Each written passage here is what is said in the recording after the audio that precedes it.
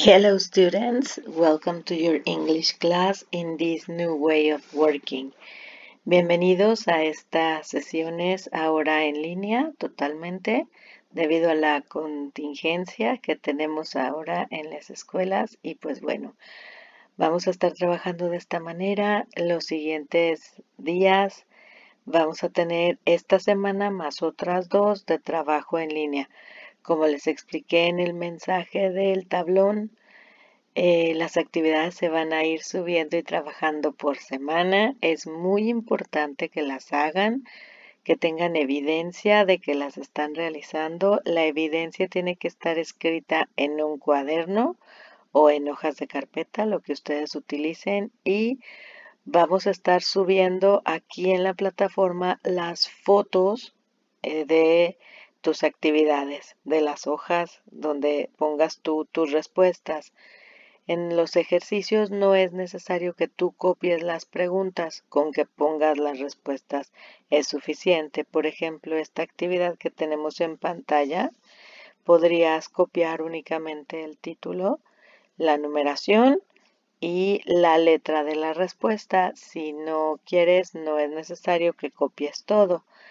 Eh, lamento mucho que yo me quedé con los libros de ustedes. Vamos a tener que estar contestando en hoja y, este, y poniendo las fotitos y ya después tendremos tiempo para pasar las respuestas cuando nos volvamos a ver. Como les decía, vamos a trabajar así tres semanas, contando esta, o sea, esta y otras dos. Y este, después Descansaremos en vacaciones, el periodo correspondiente a las dos semanas de vacaciones.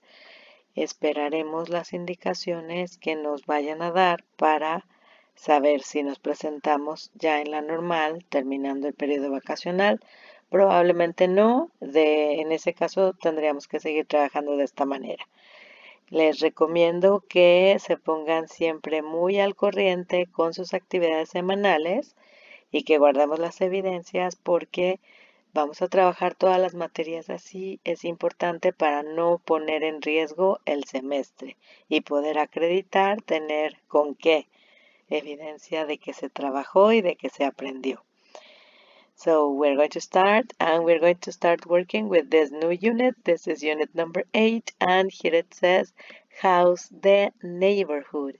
How's the neighborhood? What's the meaning of neighborhood in Spanish? Neighborhood, vecindario. Neighborhood, the vecindario. Here we have vecindario is the place where you live, right? Where there is your home. And, well, the question in Spanish, ¿cómo es el vecindario? And here we have two objectives of the unit. Here it is ask about and describe places and the other one says describe a neighborhood. So we're going to ask, vamos a preguntar y describir los lugares y vamos a describir el vecindario. The first exercise that we have here, it says word power, places, and activities. And it says match the places and the definitions. Then ask and answer the questions with a partner.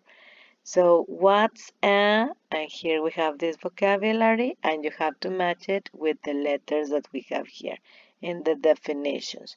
Then here it says exercise B, write the definitions for these places, coffee shop, drugstore, gas station, library, and post office. You can write the meaning in Spanish. Recuerden copiar entonces sus respuestas de este y de este en una hoja de cuaderno, le toman la foto y suben la pantalla. Este vocabulario está incluido en su unidad de estudio de Quizlet, que ahí en la plataforma de Classroom les aparece un link para que puedan meterse a trabajar en Quizlet. So that's all for today. Yeah, for this activity and see you in the next one.